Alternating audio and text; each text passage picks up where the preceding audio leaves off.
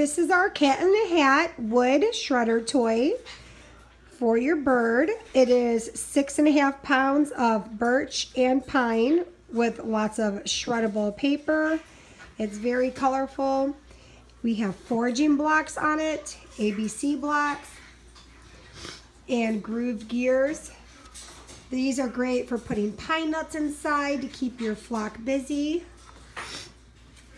There's little people on here, lots of colorful cards, lots of things to keep your bird busy.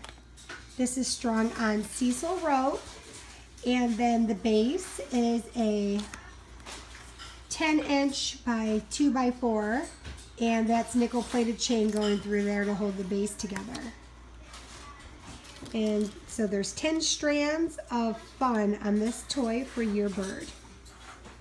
And once again, it's our Dr. Seuss Cat and a Hat from Noah's Ark and Novelty.